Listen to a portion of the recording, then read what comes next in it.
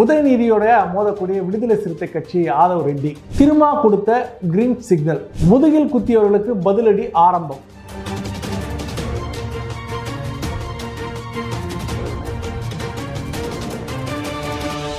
வணக்கம். இது உங்கள் நியூ பாரத் நான் உங்கள் காண்டீபன். இந்த மது ஒழிப்பு மாநாடு அதிமுக கட்சிக்கு அழைப்பு ஆட்சி அதிகாரத்தில் பங்கு அப்படின்னு சொல்லிட்டு திருமாவளவன் இந்த பேசிய அந்த வீடியோவுக்கு அப்புறம் பார்த்தீங்கன்னா திமுக கூட்டணியில் ஒரு பெரிய சலசலப்பை உருவாக்கி இருக்கக்கூடிய நிலையில தான் விடுதலை சிறுத்தை கட்சி இல்லாமல் வட தமிழ்நாட்டில் திமுகவில் ஜெயிக்கவே முடியாது அப்படின்னு சொல்லி கூறி கூட்டணிக்குள்ள பெரிய ஒரு கலக்கத்தை வந்து உருவாக்கி இருக்காரு விடுதலை சிறுத்தை கட்சியுடைய துணை பொதுச் செயலாளராக இருக்கக்கூடிய ஆதவ அர்ஜுனா ரெட்டி. சிஎம் சந்திச்சதுக்கு அப்புறம் திருமாவளவன் வந்து ஃபுல்லா சைலண்ட் மோடுக்கு போயிட்டு இருக்காரு இந்த நிலையில வந்து பாத்தீங்கன்னா அந்த கட்சியுடைய துணை பொதுச் செயலாளர் ஆதவ அர்ஜுனா ரெட்டி இருக்காரு இல்லையா? அவர் வந்து பீஸ்ட் மோடுக்கு வந்திருக்கிறாரு. அதாவது திமுகவை அக்கு வேறு ஆணி வேற பிரிச்சு மேய ஆரம்பிச்சிருக்கிறாருன்னு சொல்லும். கொஞ்ச நாளைக்கு முன்னால வந்து பாத்தீங்கன்னா ஆதவ அர்ஜுனா ரெட்டி இருக்காரு இல்லையா? அவரோட ஆபீஸ்ல இருந்து தமிழ்நாட்டில் இருக்கிற முக்கியமான தொலைக்காட்சி அதே நேரத்தில் வார இதழ் அந்த நாள் இதழ் அந்த மாதிரியான மீடியாவுக்கு வந்து பாத்தீங்கன்னா அதுல இருக்கக்கூடிய குறிப்பிட்ட நபர்களுக்கு வந்து ஒரு ஃபோன் போயிருக்கு. அதாவது பாத்தீங்கன்னா நடப்பு அரசியல் தொடர்பா அண்ணன் ஆதவ அர்ஜுனா ரெட்டி வந்து பேட்டி கொடுக்கறதுக்கு ஆசைப்படுறாரு அப்படின்னு சொல்லிட்டு போனதுக்கு அப்புறம் போயஸ் கார்டன்ல ஒட்டுமொத்த மீடியாவும் போய் குவிஞ்சிருக்கிறாங்க. அதுல முக்கியமான டிவிக்கு வந்து பாத்தீங்கன்னா ஒரு அரை மணி நேரம் வரைக்கும் ஆதவ அர்ஜுனா வந்து பேட்டி கொடுத்துருக்கிறாரு. அதுலயும் ஒரு சில டிவிக்கு வந்து பாத்தீங்கன்னா ஒரு மணி நேரம் வரைக்கும் பேட்டி எடுக்கிறதுக்கு அனுமதிச்சிருக்கிறாரு.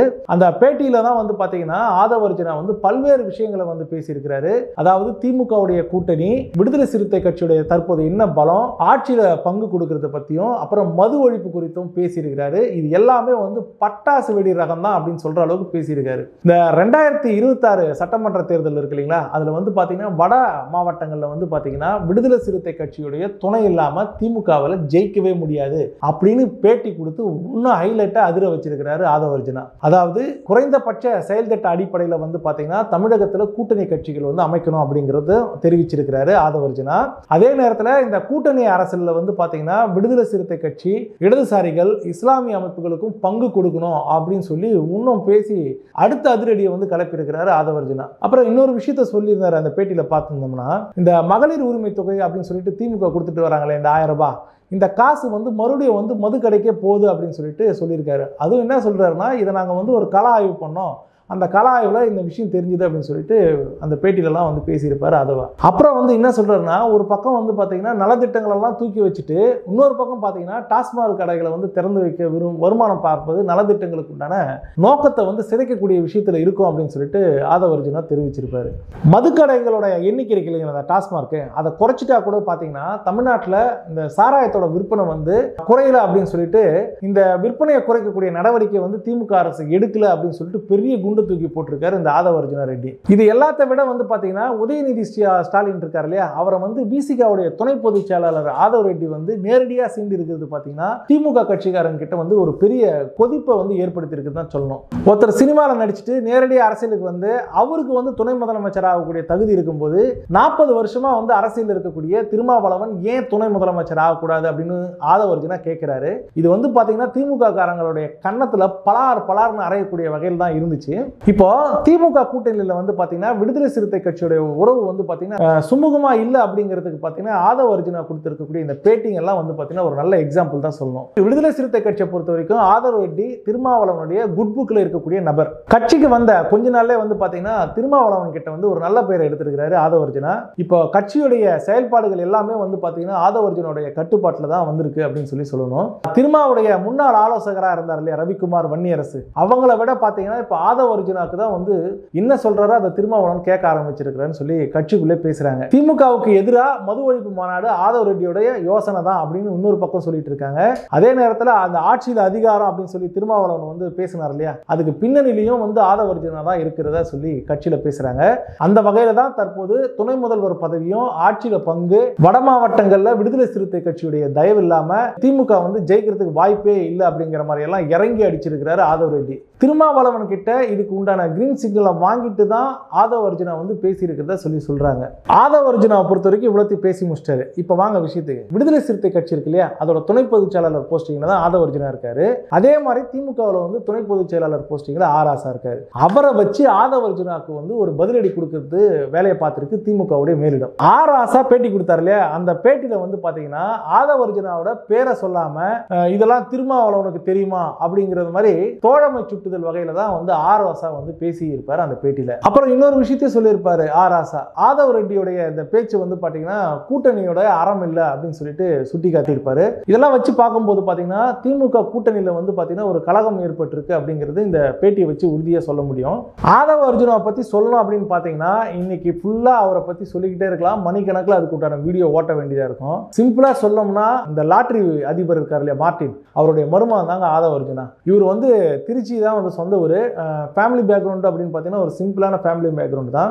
ஆதவ அர்ஜுனாவை பொறுத்த வரைக்கும் பார்த்தீங்கன்னா ரொம்ப இன்ட்ரெஸ்டட் பர்சன் இந்த பேஸ்கெட் பாலில் அதே நேரத்தில் ஆதவ அர்ஜுனாவுடைய இந்த டெடிக்கேஷன் பொசிஷனும் அதே நேரத்தில் அவருடைய நாலேஜை பார்த்து தான் வந்து பார்த்தீங்கன்னா மார்ட்டின் வந்து இவரை மருமகனாக மாற்றிருக்காரு அதே நேரத்தில் தமிழ்நாட்டில் ஃபஸ்ட் டைம் வந்து இந்த மைக்ரோ ஃபைனான்ஸ் அப்படின்னு சொல்கிறத ஒரு விஷயத்தை வந்து அறிமுகப்படுத்தினாங்க. அதாவது நுண்கடன் சொல்லுவாங்க. அதில் வந்து சக்ஸஸ் பண்ணி ஒரு பெரிய வெற்றியாளராக ஆதவ அர்ஜுனா வளம் வர ஆரம்பிச்சிருக்காரு. தான் வந்து என்னதான் ஒரு தொழிலதிபராக இருந்தாலும் சரி பொலிட்டிக்கல் மேல ரொம்ப இன்ட்ரெஸ்டா இருந்திருக்கிறாரு. சின்ன வயசுல வந்து பாத்தீங்கன்னா அரசியல் நாலேஜ் ரொம்ப அதிகமாக வச்சிருந்திருக்கிறாரு. அரசியல்ல தடம் பதிக்கணும் அப்படிங்கிறதுக்காக முதலமைச்சர் மு க ஸ்டாலின் இருக்காரு இப்போ? அவருடைய மருமகன் சபரிசன் கிட்ட வந்து ரெண்டாயிரத்தி பதினாறுல ஒரு கான்டாக்டை வச்சுட்டு இருக்காரு ஆதவ அர்ஜுனா ஒரு கட்டத்துல வந்து பாத்தீங்கன்னா சபரிசனுடைய ரொம்ப நம்பிக்கைக்குரிய ஒரு நபரா ஆதவ அர்ஜுனா இருந்திருக்கிறாரு. திமுகவுடைய செயல் திட்டங்களை தீர்மானிக்கக்கூடிய குழுல வந்து ஆதவ அர்ஜுனா இடம் பெற்றிருக்காரு. அரசியல்ல நினைச்ச இடத்தை அடையணும் அப்படிங்கிறதுக்காக வந்து பாத்தீங்கன்னா சபரீசனுக்கு டிரைவர் வேலையெல்லாம் பார்த்தவர் தான் இந்த ஆதவ அர்ஜுனா ரெண்டாயிரத்தி இருபத்தொன்னு தேர்தலில் வந்து பார்த்தீங்கன்னா ஸ்டாலின் முதலமைச்சராகக்கூடிய செயல் திட்ட பணியாற்றக்கூடிய விஷயத்தில் பணியாற்றி நல்ல ஒரு பேரை வாங்கியிருக்கிறார் ஆதவ அர்ஜுனா திமுகவுடைய மாநிலங்களவை எம்பி பதவி கிடைக்கும் அப்படின்னு சொல்லி ரொம்ப எதிர்பார்த்திருந்திருக்கிறாரு இருந்திருக்கிறாரு ஆனால் அர்ஜுனா ஒரு கட்டத்தில் ஆதவ அர்ஜுனாவை கைட்டி விட்டுருக்காரு. சரி ஓகே எம்பி அப்படி இல்லைன்னா எம்எல்ஏ ஆயிடலாம் அப்படின்னு சொல்கிற ஒரு கனவோட தான் வந்து பார்த்தீங்கன்னா விடுதலை சிறுத்தை கட்சியில் வந்து ஜாயின்ட் பண்ணியிருக்காரு ஆதவர்ஜுனா. ஏறக்குறைய ஒரு லட்சம் கோடி ரூபாய் மதிப்பிலான அந்த லாட்டரி அதிபர் மார்ட்டினுடைய சொத்தை நிர்வகிக்கக்கூடிய நபர்களில் மிக முக்கியமானவர் தான் இவருடைய மருமகன் அதாவது ஆதவர்ஜுனா. கடந்த வருஷம் பார்த்தீங்கன்னா ஆதவர்ஜுனா தொடர்புடைய இடங்கள்ல வந்து பார்த்தீங்கன்னா இடி ரெய்டெல்லாம் போச்சு. ஆனால் அதுக்கப்புறம் அது மேலே எந்த ஒரு நடவடிக்கையும் எடுக்கப்படலை. அமைதியாகவே கிடைக்கிற அந்த இடி ரெய்டு. இதுக்கு என்ன காரணம் அப்படின்னு கேட்டால் டெல்லியில் வந்து ஆதவர்ஜுனாக்கு இருக்கக்கூடிய அந்த பவர் செக்டருடைய கான்டாக்ட் அப்படிங்கிறாங்க. ஸோ இப்படி வந்து ஃபினான்ஷியல் அதுக்கப்புறம் வந்து அதிகார பலம் இந்த மாதிரி ஒரு நபராக இருந்துட்டு தான் உதயநிதி ஸ்டாலினை எதிர்த்து பேசியிருக்கிறாரு ஆதவர்ஜுனா. அதிலும் வந்து பார்த்தீங்கன்னா திமுக கூட்டணியில் இருந்து கொண்டே அதுவும் திமுகவுக்கு அடுத்த தலைமையாக இருக்கக்கூடிய அந்த நபர்களை வந்து ஆதவ அர்ஜுனா விமர்சிருக்கிறாருன்னா பாருங்க. இதுக்கு பதில் நடவடிக்கை எதிர்கொள்றதுக்கு தயாரா இருக்கிறதுக்கு முடிவு பண்ணிட்டு தான் இந்த அளவுக்கு ஆதவ அர்ஜுனா பேசியிருக்கிறாருன்னா இதுல பார்க்க முடியுது.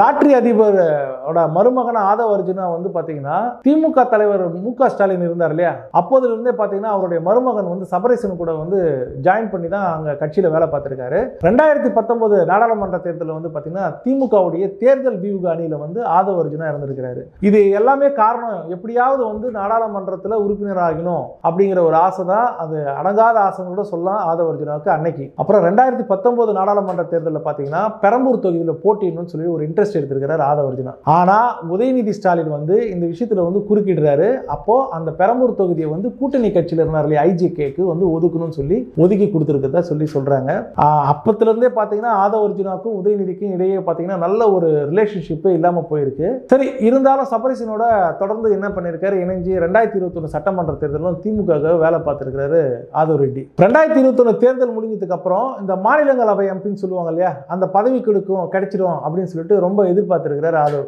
ஆனால் மாநிலங்களவை பதவியும் ஆதவுக்கு கிடைக்காம உதயநிதி வந்து என்னென்ன பண்ணணுமோ அந்த வேலை தான் பண்ணதா சொல்லி சொல்கிறாங்க இதனால தான் சபரேசன் கிட்ட இருந்து விலகி விடுதலை சிறுத்தை கட்சியில் வந்து இணைஞ்சிருக்கிறாரு ஆதவ் ரெட்டி. ரெண்டாயிரத்தி இருபத்தி நாலு நாடாளுமன்ற தேர்தலில் வந்து விசிகாக்கு வந்து மூணு தொகுதி வாங்கணும் அப்படிங்கிறதுக்காக ஒரு பிளானோட தான் வந்து ஆதவ அர்ஜுனா செயல்பட்டிருக்காரு. ஆனா ரெண்டு தொகுதிக்கு மேலே கொடுக்க முடியாது அப்படின்னு சொல்லிட்டு திமுக கராரா இருந்திருக்கு. சரி ஓகே. அந்த ரெண்டு தொகுதியில் வந்து ஒரு பொது தொகுதி வேணும் அப்படின்னு சொல்லிட்டு ஆதவுக்காக திமுக கிட்ட ரொம்ப போராடி இருக்கிறாரு திருமாவளவன். ஆனால் பொது தொகுதியே ஆதவுக்கு கொடுக்கப்படும் அப்படிங்கிற விஷயம் தெரிஞ்சதுனால தான் உதயநிதி வந்து ஸ்டாப் செய்து விட்டதா சொல்லி சொல்கிறாங்க அந்த தொகுதியை கொடுக்கக்கூடாதுன்ட்டு இப்படியெல்லாம் தான் எம்பி ஆகிறதுக்கு தடையாக இருந்த காரணத்தினால தான் வந்து பார்த்தீங்கன்னா உதயநிதிக்கு எதிராக தற்போது தற்போது வந்து வெளிப்படையாக பேசி வந்துட்டு இருக்காரு விடுதலை சிறுத்தை கட்சியுடைய துணை பொதுச் செயலாளர் ஆதவர்ஜினா. இதே நிலைப்பாட்டோட திமுகவோட தொடர்ந்து டிராவல் பண்ணால் வரக்கூடிய சட்டமன்ற தேர்தலையும் பார்த்தீங்கன்னா ஆறு தொகுதி தான் பிசிக்கா வாங்கவே முடியும். அதுக்கு கூட போராடி தான் வாங்க முடியும் அப்படின்னு சொல்லிட்டு திருமா கிட்ட எடுத்து சொல்லியிருக்கிறாரு ஆதவ ரெட்டி அதுக்கப்புறம் தான் வந்து பார்த்தீங்கன்னா அதிமுக பக்கம் கூட்டணி கதவை திறக்கிறதுக்கு காரணமாக இருக்கிறாரு ஆதவ ரெட்டி இன்னொரு அரசியல் தொகுப்பு நிகழ்ச்சியில் சந்திக்கும் வரை உங்களிடமிருந்து விடைபெறுவது எப்போதும் போல் நான் காண்டீவன்.